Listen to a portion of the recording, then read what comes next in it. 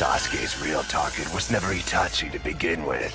That's not what the fire style attack was for. To form a cumulonimbus. In other words, to create a thundercloud. To create a lightning style jutsu.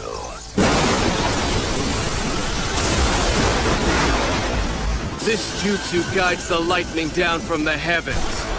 That's why this jutsu can't be evaded. Come!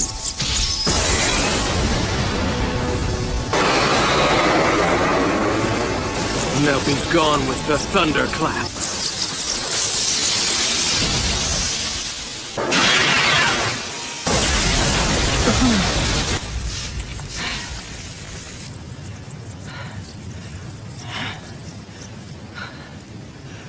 It's done. It's finally